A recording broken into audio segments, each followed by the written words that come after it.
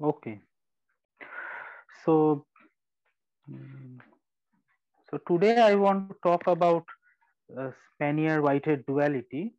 But uh, before uh, going into the subject, let me just recall uh, what I had said from last time because it's been a while. So we had uh, we had uh, kind of given you an idea about the stable homotopy category.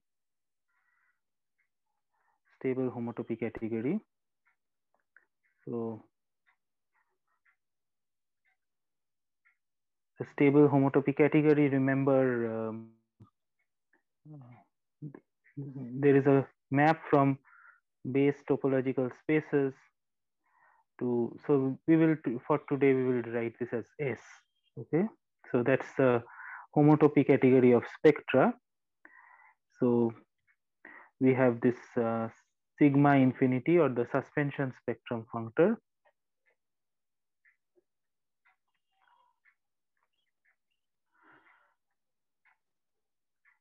And then we had this uh, omega the this was a left adjoint. The right adjoint was omega infinity which went from s to top star.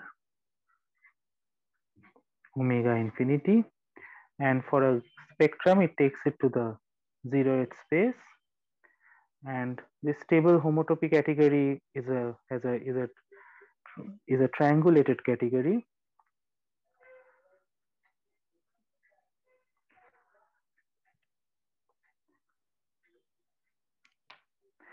Uh, we have these co-fiber sequences.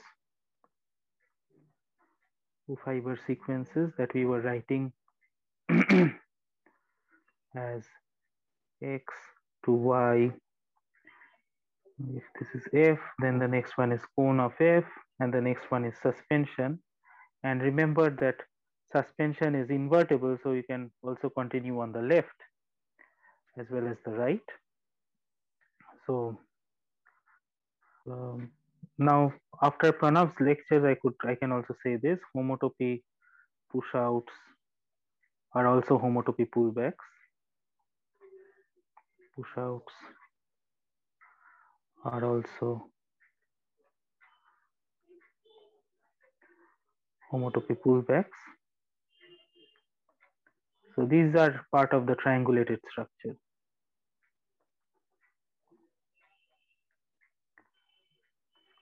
And then uh, towards the end, I also talked about the smash product and the mapping spectrum.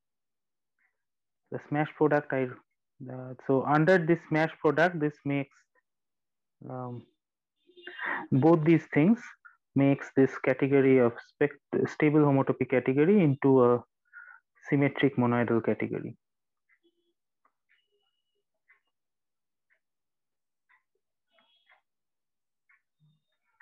and the unit object is the sphere spectrum.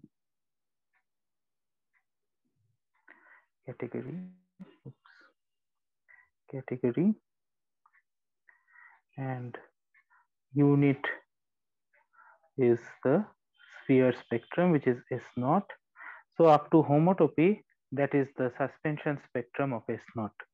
So I will just uh, write it as S naught throughout this talk. But um, when you are going to study algebras, there is some technical condition that um, this S naught cannot be cofibrant. But uh, we are working in the homotopy category, so the homotopy type is S naught. So we will preserve that. One thing which I did not mention last time, which I uh, uh, which I should start with, is that these uh, spectrum, these spectra represent homology and cohomology theory. So I should rather say the definition homology and cohomology theories defined by spectrum. The theories defined by spectra.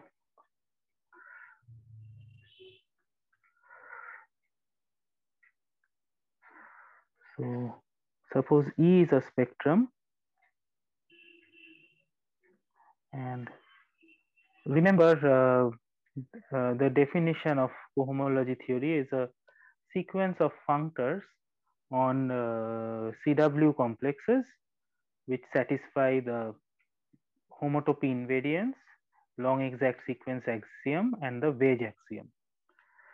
And you notice that if I define E upper n of x, define E upper n of x to be the stable homotopy classes of maps from x to the nth suspension of E. So this is uh, defined for n integers. So then this is a cohomology theory. This is the cohomology theory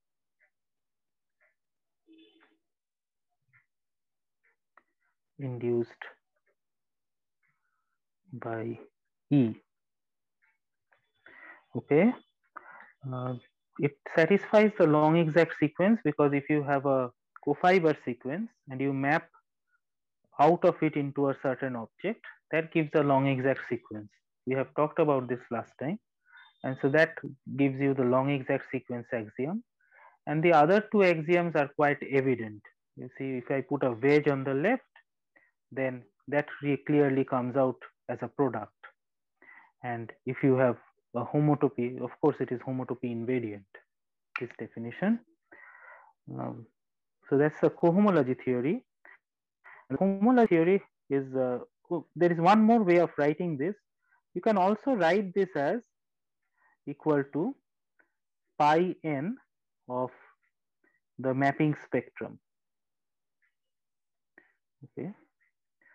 You can also it as pi n of the mapping spectrum pi n of the mapping spectrum is exactly what I wrote here. It's the, uh, oh, sorry. I should say minus n. Let me erase that. So this is equal to pi minus n of the mapping spectrum. That's exactly what I wrote here. So if you go back to the uh, rudimentary definition of f of x comma e, which I gave last time, um, that uh, and you put pi minus n there, you will get exactly the definition I wrote here. So this is the cohomology theory and the homology theory induced by E because cohomology has this mapping spectrum, you would guess that it is induced by the smash product and indeed that is the case. So E lower n of x is defined to be the homotopy groups of the smash product of E with x. Okay. So this is the homology theory induced by E.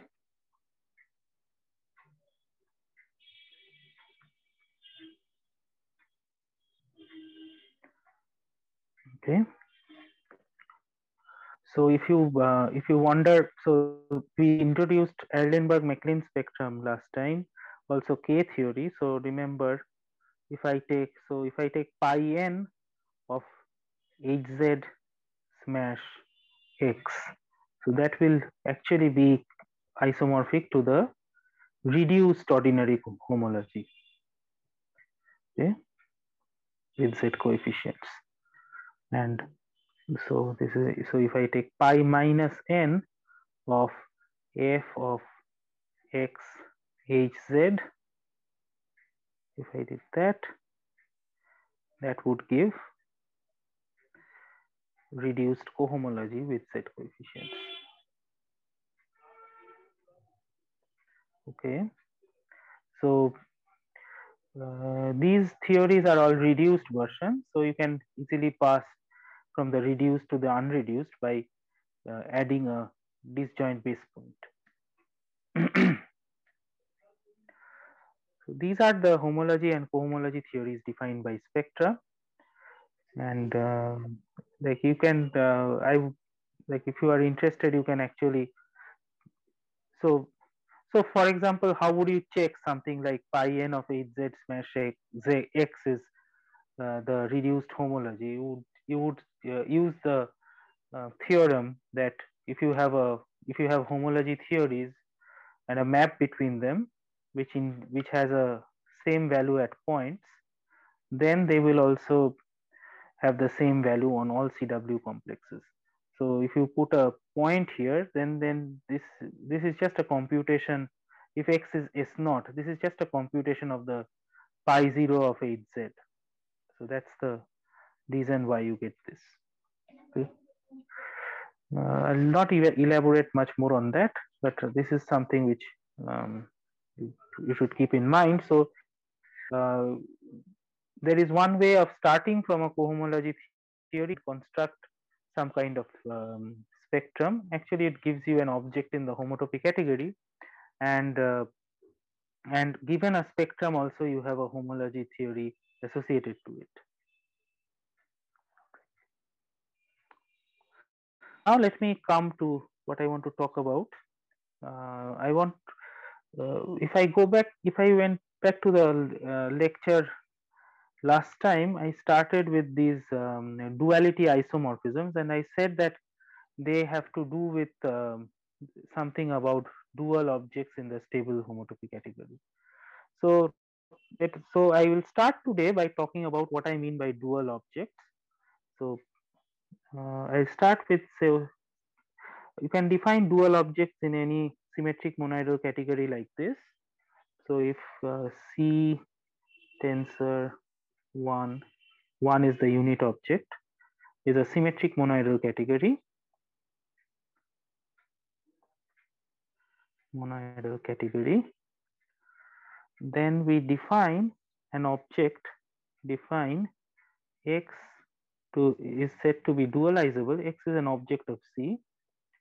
X is said to be dualizable if um, there exists um, another object y another object y plus uh, maps plus maps in c from one map from x tensor y to the unit object and the other map from so we call this lambda and another map from 1 to mm, y tensor x. Uh, such that uh, if I take uh, this composite so I can write x and that is say isomorphic to x tensor 1 by a chosen isomorphism and then I can apply this mu. So mu, sorry, I should write one tensor mu, identity tensor mu.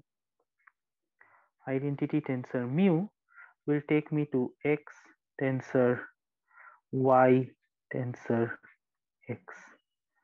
And then I apply lambda tensor identity. So that will take my first two terms and I'll get one tensor x and that's isomorphic to x. So this composite here, this composite should be the identity and also a similar diagram the other way around. So let me just write that down. So I should start with y right? Y is isomorphic to one one tensor y. Okay. And then i apply uh, this uh, mu tensor identity. So that takes me to uh, it takes me to y tensor x tensor y. And now i apply identity tensor lambda. So that takes me to y tensor 1, which is also isomorphic to y.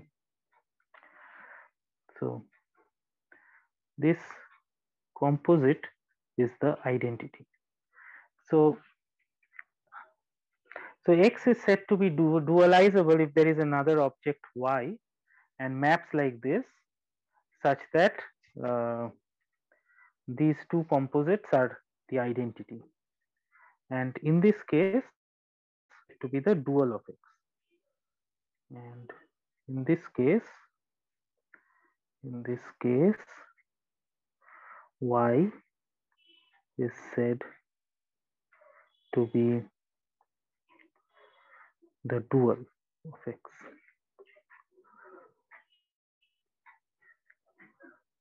Okay, so the usual example is uh, you can uh, you can try to work out what happens if I take C to be vector spaces over a field K, vector spaces over K, then you will end up showing that dualizable objects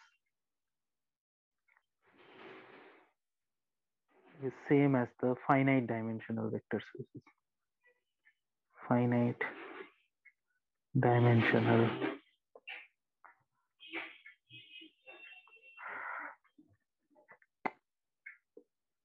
finite dimensional vector spaces. Okay, and uh, why will you need finite dimensional? You'll see that uh, you can. So the so if you if y was x was just hom from x to k. Uh, so if x is a vector space, y you take hom from x to k, then you can define the map lambda just by evaluation. But to define the map mu, uh, you will see that you need to like one one definition is you take you take a, ba a basis of x and you take a dual basis of y and you you send one to uh, summation uh, so so if vi is a basis of x and vi star is a basis of y then one thing which works is one goes to summation vi star tensor vi okay? So i will leave that example just as it is but uh, but you can you can verify this it's it's not a hard exercise to work out okay so today the question I want to ask the symmetric monoidal category in front of me is the stable homotopy category. So the question is what are the dualizable objects of S? Dualizable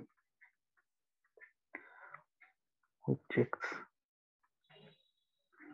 in S.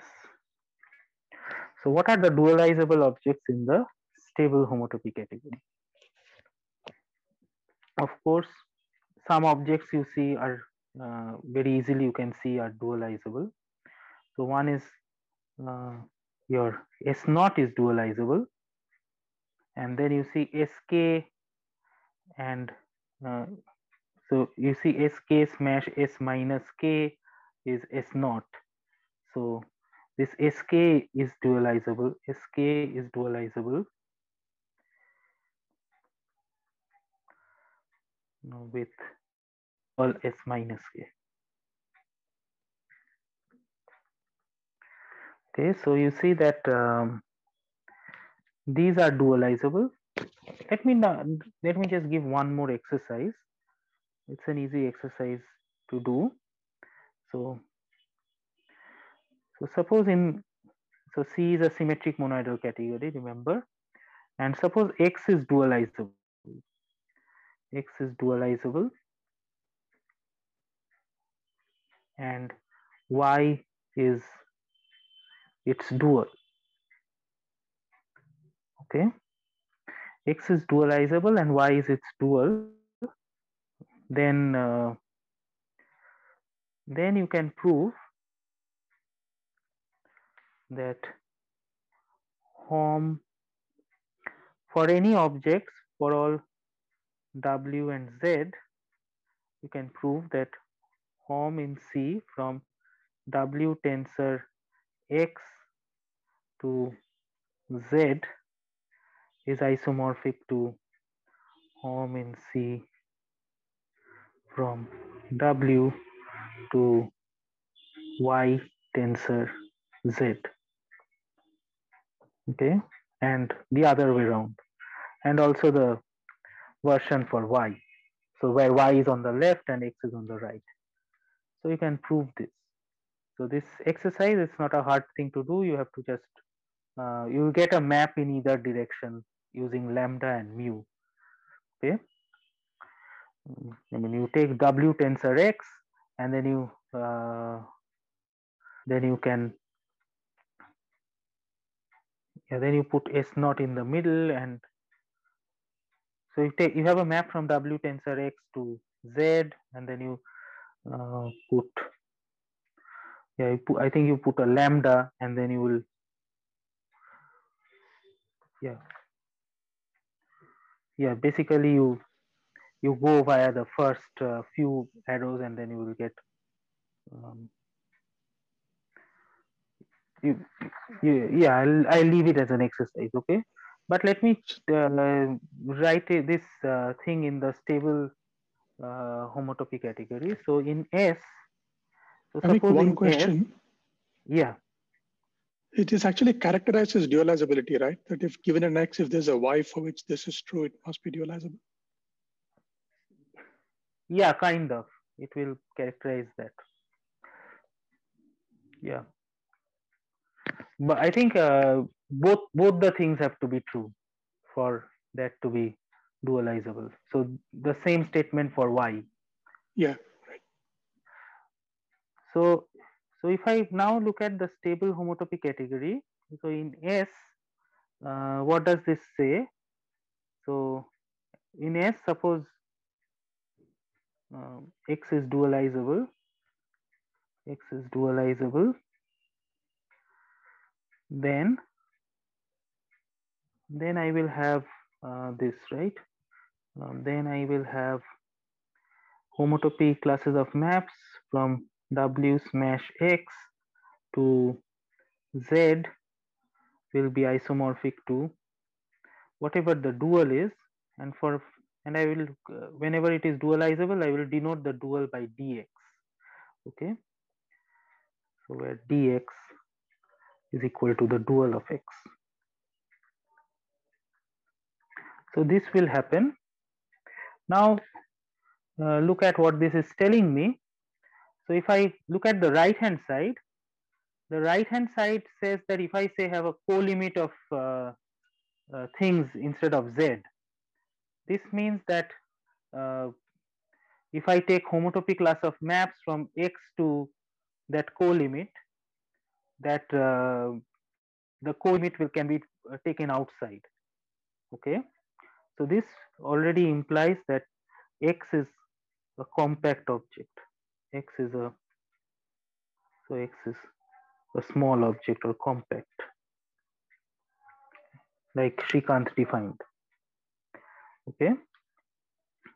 So in fact uh, these these are the things that are dualizable. So in an, another way of uh, seeing this is you can show another exercise. This is a, not very hard to do is that if x is dualizable yeah sorry before that exercise let me uh, i have to say something. Okay. So another consequence of the exercise uh, before okay oh, no no I, I already have it here so if i have uh, w smash x to z is this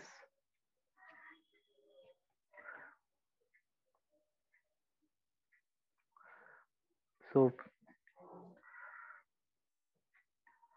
Uh, hello, uh, Shamin. I hello. Yeah. I couldn't follow the argument why it's compact. Something about co-limit that you said. Just yeah. So it uh, so homotopy classes of maps from X actually X co-limits to co-limits. So that means that it is compact. So if you have a co-limit, the co so if I take X to co-limit of dash this is isomorphic to co-limit of x comma dash right so that will that will imply that it is compact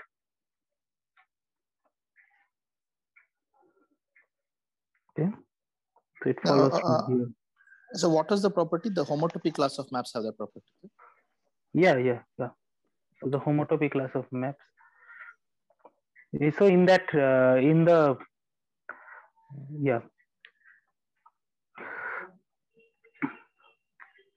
Ah, so what I, what I was saying is that um, you now notice that, uh, so if, so you now notice that with respect to this formula, this dual of x, because I have this map x smash dx to s naught, right?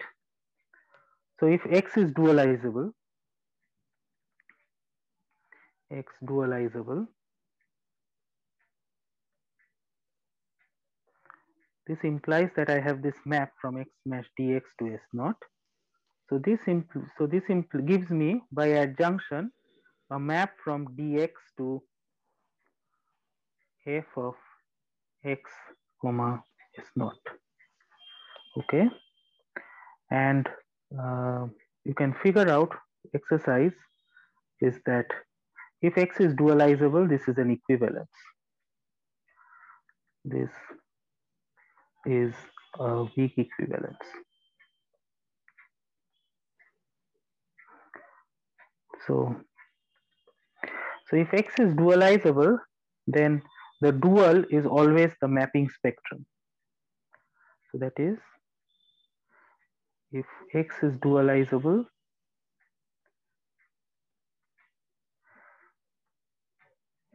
then dx is f of x comma s naught.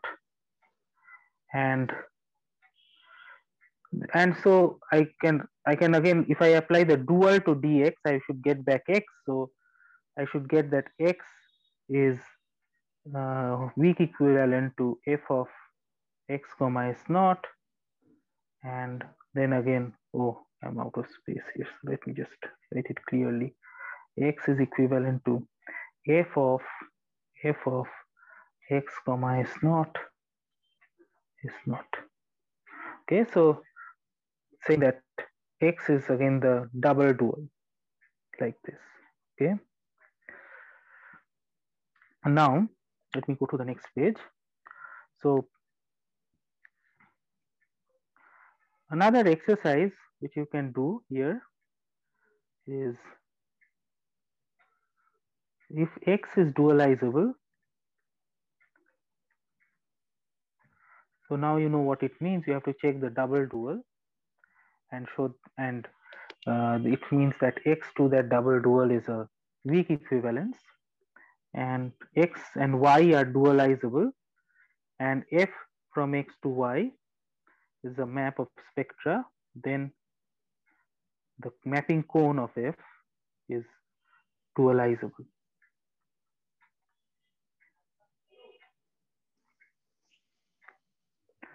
Is dualizable.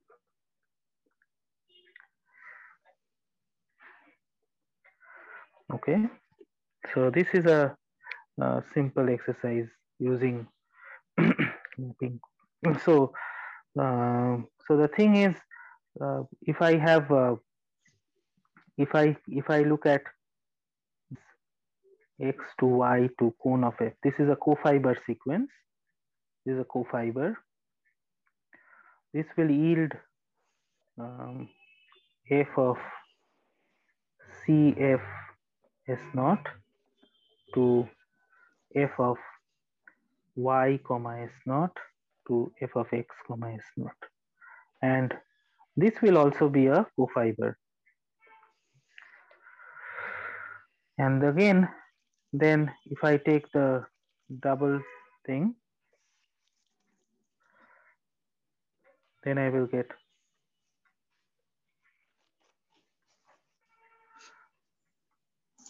then I will get like this. Oops not not. And then to this. CF is not is not.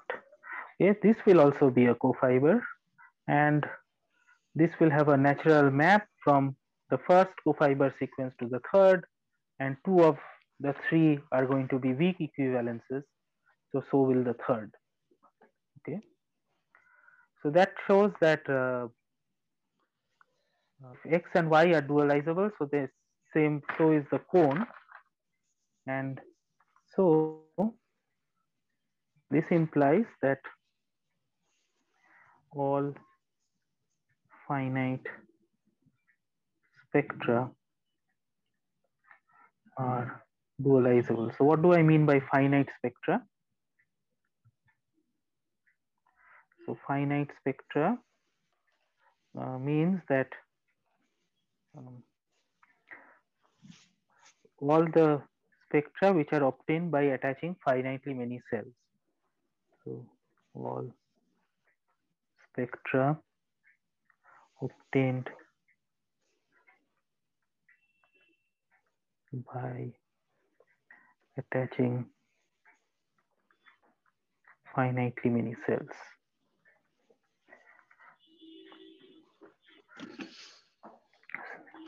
In other words, uh, that is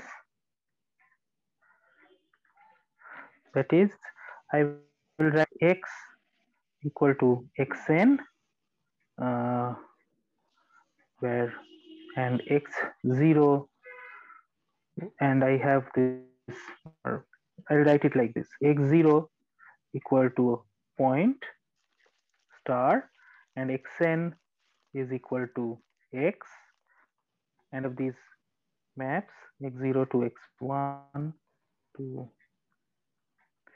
xn minus 1 xn okay?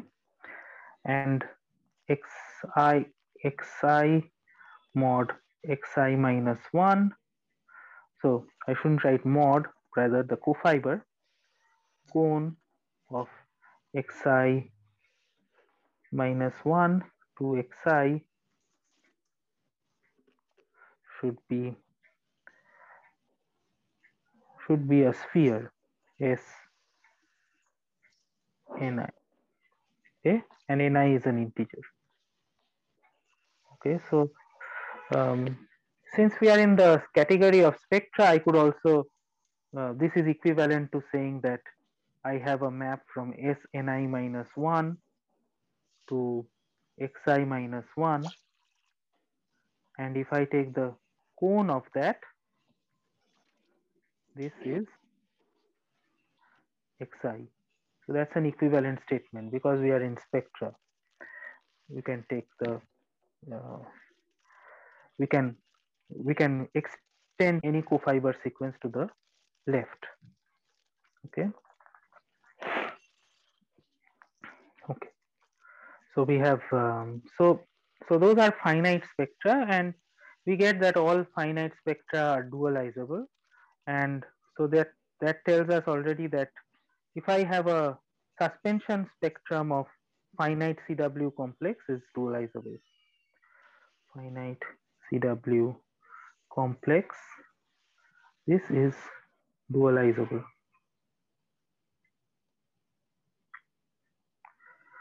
Okay.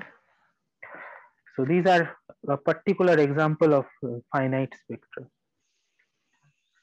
All right. Let's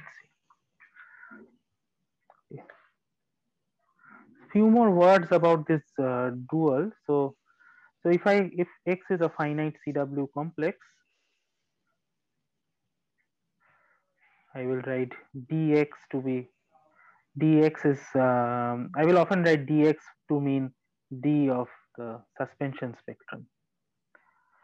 Okay, so so this is nothing but f of x is not, and now um, so what is the homology of dx?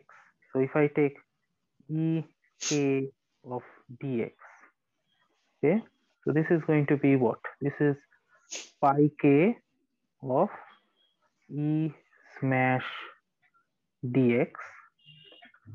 And that's uh, isomorphic to homotopy classes of maps from sk to E smash dx. this is the same as uh, this is the same as sk uh, i am applying duality in the exercise before. Uh, sk smash x to e. And now you see that is the same as the um, e minus k of x. Okay. So the so the homology of the uh, Spanier-Whitehead dual is the negative cohomology of x and similarly and the other way around. So we so you see that ek of x is e minus k.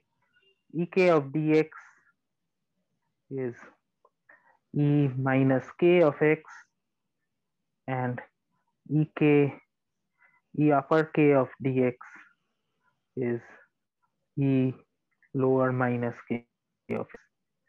okay?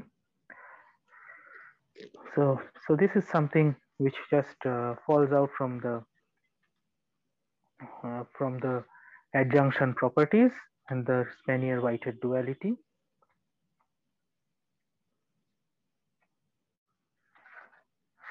Right. Another point is, uh, uh, so another thing I want to say here is that, um, so if X is a finite spectrum,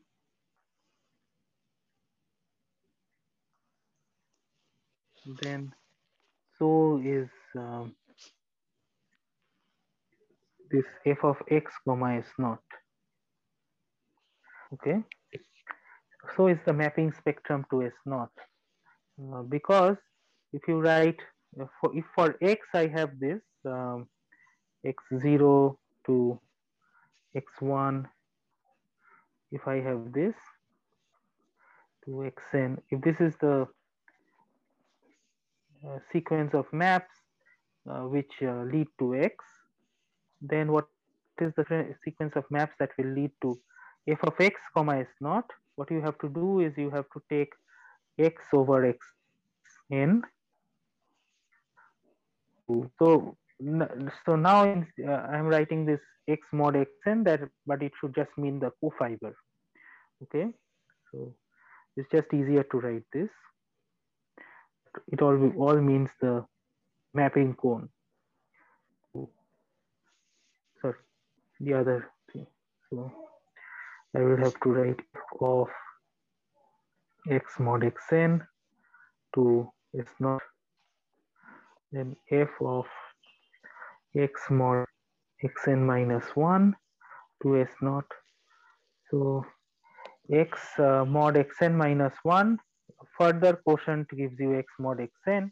So you have this map in this direction. And then you go all the way. The final thing you get is f of x mod x0 to s naught. And you see the first one because x mod xn is a point the first one is a point and the last one is nothing but f of x comma s0 and so what are the cells the cells are just the negative cells of the ones for x. So if you have sni which appears on the top then s minus ni appears on the bottom. Okay? So if you so so the thing is uh, what happens to the dual is you uh, so x you keep on attaching cells in uh, various degrees.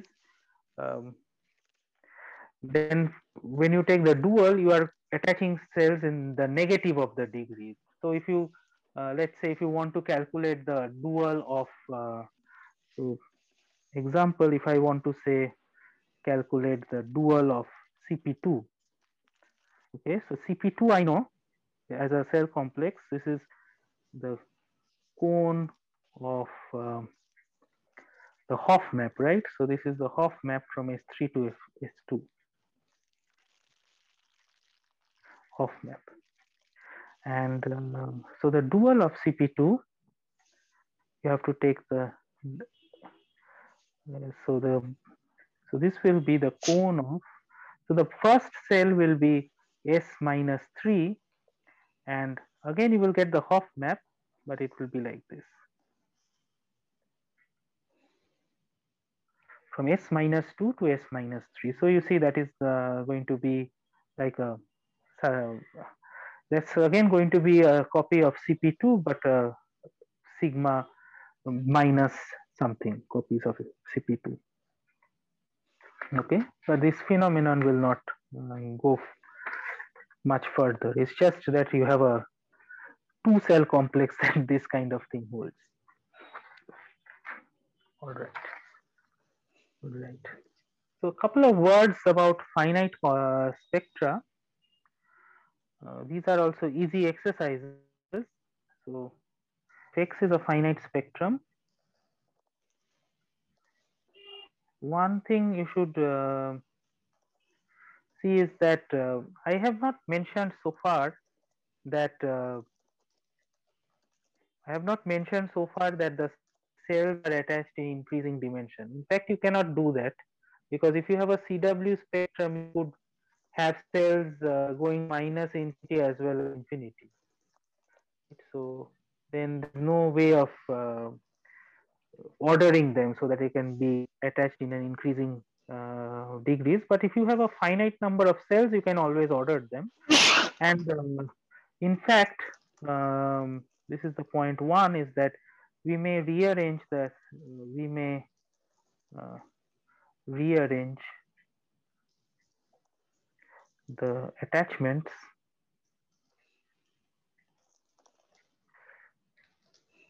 So that the cells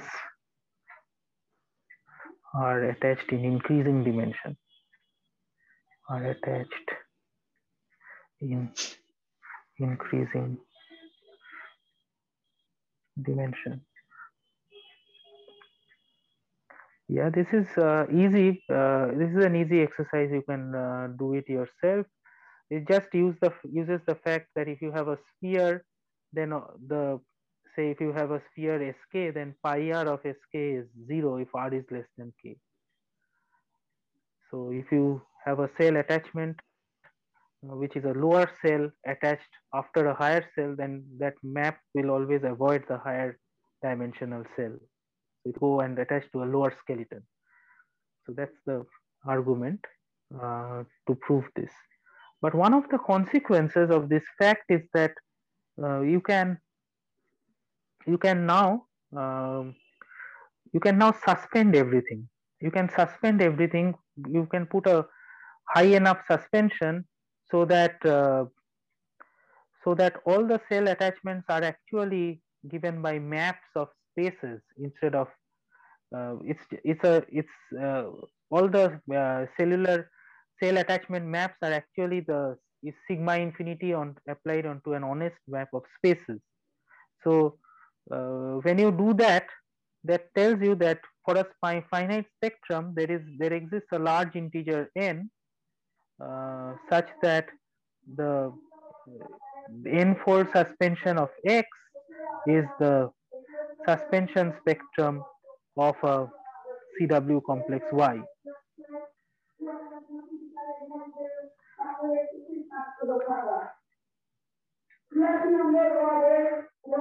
Okay. So,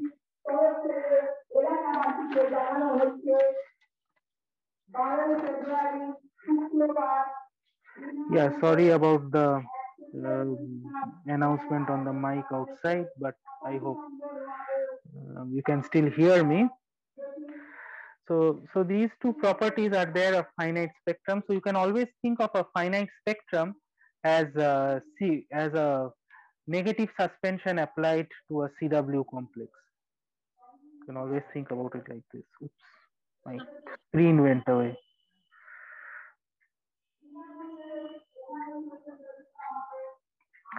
Yeah, so you can always think of a finite spectrum as the negative suspension applied to a CW complex. Okay. Uh, yeah. So in the remaining time, I will, I will now I want to relate in the remaining. Oops, I don't know why this is going away all the time.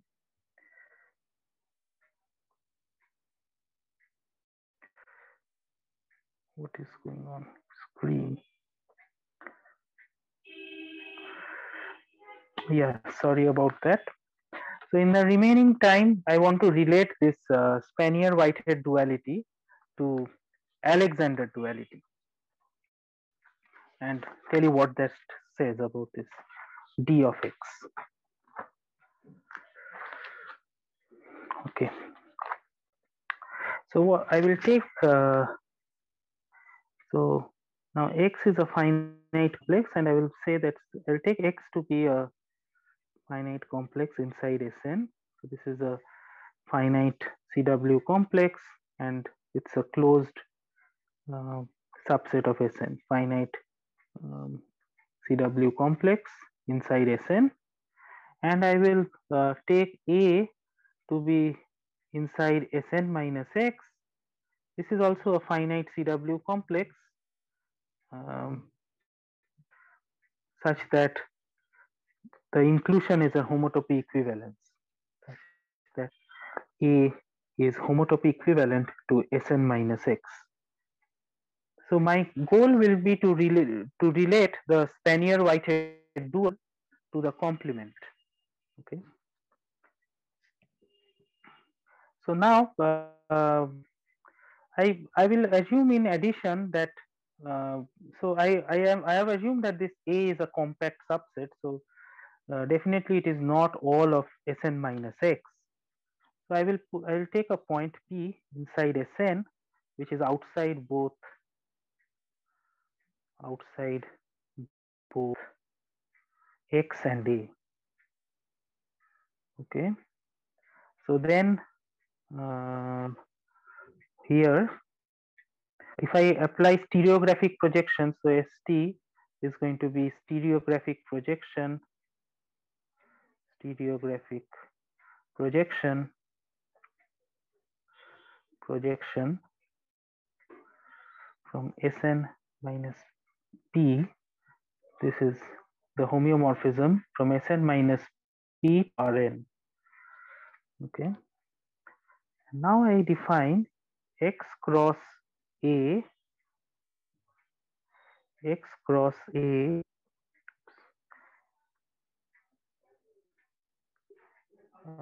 to Sn minus 1 like this. I take an element x and a and I will map it to the stereographic projection of x minus stereographic projection of a. And because a is inside the complement of x and outside uh, p also both of these the, these are never equal. So this is not a, a non-zero um, element of r so i can divide by the norm. St of x minus st of a. Okay so that so that gets me down to sn minus 1 so that gives you a map from x cross a to sn minus 1 now i will do something called the Hopf construction on the map so Hopf construction will uh, start from the join of x and a and will go to the suspension of Sn minus 1, which is now equal to Sn. What is the Hopf construction? First of all, what is the join? I don't have uh, too much time to explain what the join is, but uh, basically it's a set of lines.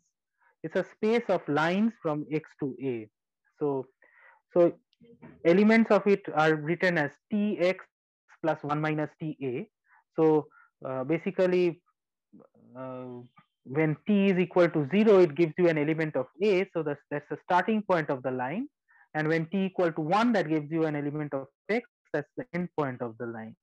So I will tx um, 1 minus ta that will map to so if, if I call this map mu so this will this will or mu hat I want to call this map mu, mu the second map so this will take uh, it to mu hat of a comma x comma a and then comma t.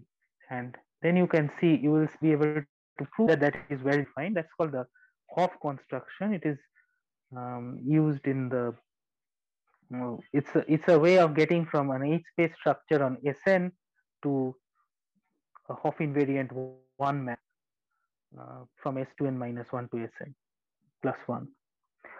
So that's the Hopf construction. And now the join is also homotopy equivalent to the suspension of X smash A. Okay, so this gives you a map from suspension of X smash A to Sn. This is my mu and so that gives you a stable map stable map from x smash a to sn minus 1 or equivalently a map from a to f of x uh, sn minus 1 which is equivalent to the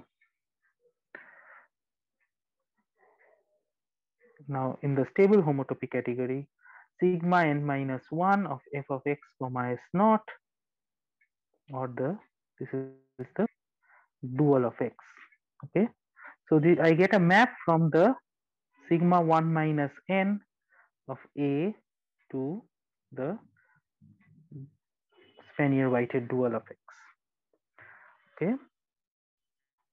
Now if you take homology on both sides Now take homology on both sides.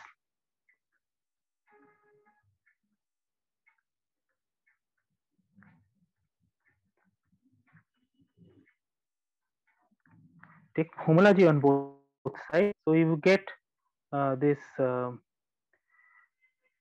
so you get h tilde k of sigma 1 minus n a uh, 2 h tilde k of d of x, but we saw that this is isomorphic to h or let me just take the suspension on the right. So this is, uh, so I will take uh, yeah, so this is isomorphic to h tilde minus k of x and on the left uh, this is nothing but the complement. So that's h tilde k minus n. Uh, so suspension 1 minus n. Uh, yeah. K plus n minus 1 of the sn minus x. Okay. Now uh, yeah i got the numbers uh, mixed up so i replace uh, k this k prime equal to k plus n minus 1 then you will see that you will have on the left h tilde k prime of sn minus x. And on the right you will have h tilde of n um, minus k prime minus 1 of x. So this is an isomorphism by Alexander duality. Of course, you have to figure out uh, what what the exact how the exact map goes, but I will not. I don't have time for that, but uh, but uh, you can figure that out. Uh, so so Alexander duality is uh, says that this is an isomorphism on homology, and a consequence of that The consequence is that if I take this sigma 1 minus n a to dx, uh, this is an iso on homology. And now both sides are finite spectra, right? Both sides are finite spectra. So after you suspend both sides, um, so you have uh, so this becomes uh, so suspend so that this because this comes from a map of CW complexes. So this uh, is actually something like sigma m of sigma 1 minus n a to sigma m of dx. This is a map of uh, suspension spectra.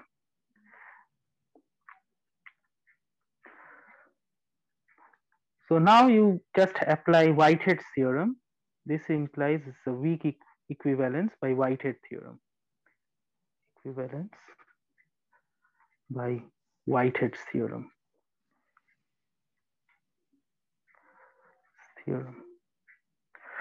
So that tells you that this uh, sigma 1 minus n a to dx, this is a weak equivalence of spectra.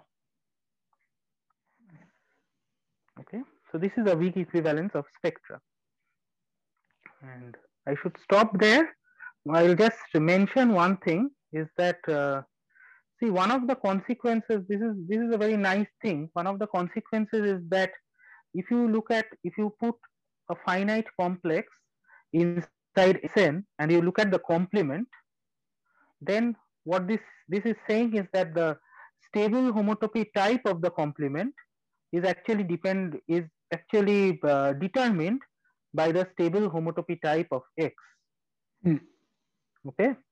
So that's one of the consequences of this uh, theorem. So i don't know are, let me write that but uh, we will not use that also later on. But you see this is this kind of result is very nice. Uh, it it's it has some surprising uh, applications. The complement usually if you take uh, take the complement of a manifold inside a manifold that kind of thing is uh, actually even strictly dependent on the embedding and so on. But here we have, we have this kind of result that the stable Mm. homotopy type of the complement is determined by the stable homotopy type x okay? So i will stop there and uh, i'll i'm sorry i think i'm out of time anyway so i'll stop sharing now